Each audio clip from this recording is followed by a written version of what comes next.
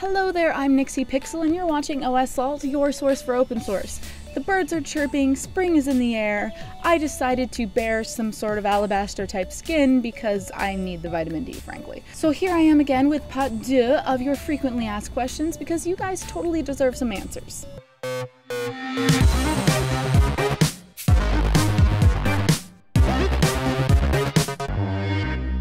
Brought to you by Ting. Have you ever ran Linux on a video game console? All the time, actually, with every game console that I have so far. Um, Xbox, if you think of XBMC, it runs off Linux. So does PS3, PS2, and the Wii. Of course, there's also the GameCube because I love me some Zelda. But yeah, that might be something that not many people know about. Even if they're proprietary products, they still use awesome open source loving OSs. What's the biggest open source project that you've personally been involved with? What was it like and what did you do? This is kind of a sad one because I've really just contributed to GitHub and Launchpad. I want to do more, definitely. Uh, I have aspirations of being part of the OLPC program, which is one laptop per child. But honestly, that, that helps with underdeveloped nations as far as building up the infrastructure and helping with education. But as far as what we can do in the US, there are still a lot of kids that fall behind because they don't have computers. It's still a luxury item, and I want to change that. Say you're being sent to a desert island with no apt-get. Which five open source programs do you take with you? As you know, I'm a dual booter, so most of these aren't exclusive to Linux, but I'd have to say for all my multimedia needs, VLC, all my music and playlists, Clementine, transmission wouldn't really work if I was on a desert island, but we'll throw that in there too. And of course tar, because that's kind of cheating. I can basically extract anything and run it in the command line, which, yeah, I cheat sometimes. If you had to marry a Linux distro, which would it be? Also, have you used any of the lightweight distros at all? Personally, I'd probably not marry until everybody in my nation can, but I've flirted with Debian, Ubuntu, FreeBSD, Fedora, and I've even gotten some Tail from Tails because it's super secure and I love it. But if I'd had to commit, it would be for my Mint. I love it. It's Ubuntu inspired, still Debian based. It's just really great overall. And as far as a lightweight distro, Puppy Linux is super lightweight. Not to mention that it loads completely in RAM. I think 128 megabytes is the minimum for that. So it's perfect for your old devices, which I have a lot of. What's the recommended book to pick up for a Linux beginner? No, I'm not going to say the For Dummies books, but Linux for Non Geeks is superb. There's a bunch of different editions, and all of them I've loved. And if you're a bit more computer savvy than that and don't mind dropping a little bit of cash, O'Reilly's books are awesome for referencing. But really, I I have no attention span. I am a forum hoe. So my favorite is ubuntuforums.org. They do a lot more than just Ubuntu and it's been an amazing asset for me.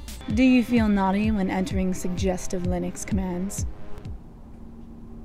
VI or Emacs. You guys should know that I want to be part of the Church of Emacs because uh, Stallman is ludicrous and so am I. Join us now and share the software. You'll be free. Hackers, you'll be free.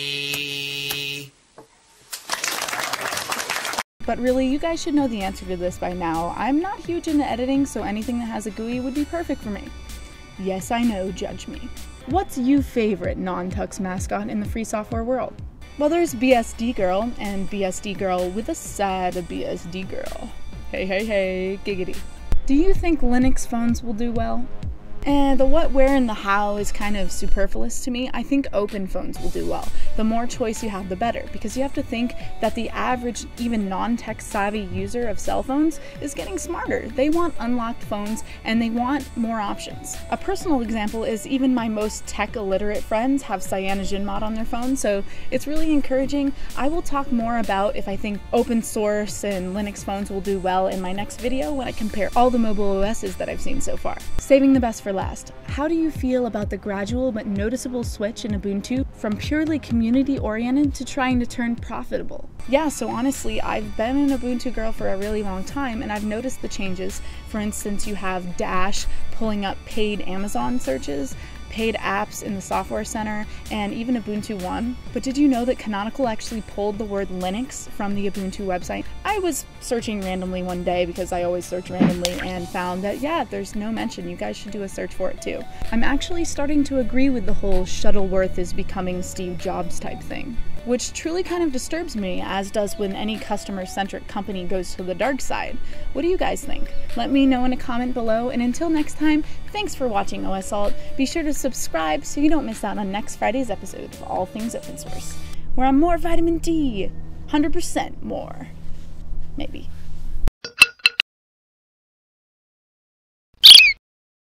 Do you hate your cell phone company like I do? I mean, there's random policies and rules that are thrown in there for no other reason than to cost you a lot of money. Get it through your heads, mobile dudes. We want contractless transparency and freedom, and that's where Ting comes in. They agree that we shouldn't be bound to a contract and we should always understand our bills. You can get a 4G phone from Ting that's inexpensive and you only pay for what you use. The data, minutes, and texts you don't use will be credited back to you. Not to mention, you won't have to deal with this. Operator. Wait, what? Sorry. You can say refills or press 1. Call Ting during business hours and they pick up the phone right away. No wait and no automated system. Give me a live person. Sorry I'm having so much trouble. Check out osalt.ting.com and try their online savings calculator. And if you're ready to get started, you'll get $25 off most Ting devices, or $25 towards Ting service just for being an OSAlt viewer. It's mobile that makes sense. Customer service. Sure. ¿Cuál de estas opciones desea? Recargas, dólares y minutos que quedan, planes de tarifas, entrar a mi cuenta o soporte técnico. Nope.